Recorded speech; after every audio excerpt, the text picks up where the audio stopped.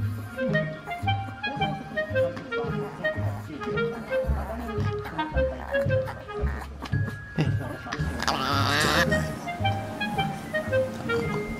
壳，米壳。爷爷，爷爷。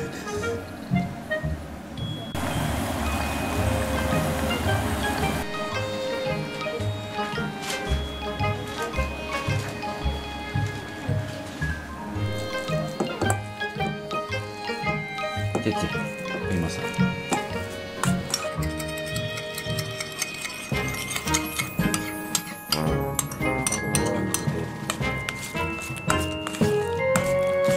大さじ大盛り倍ぐらいで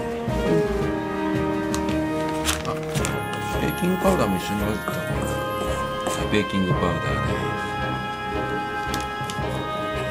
です混ぜます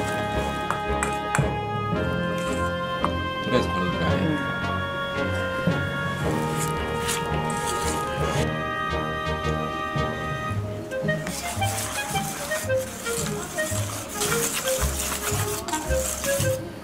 もっといってもいい？ういいんじゃないか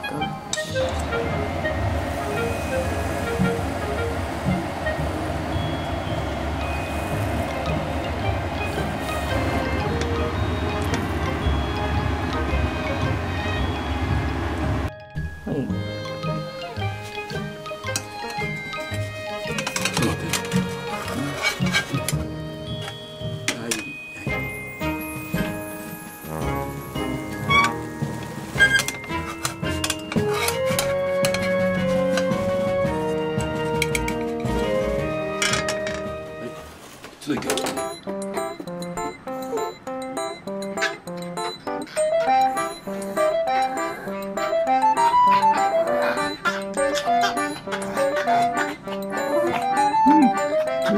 切りやすいよ。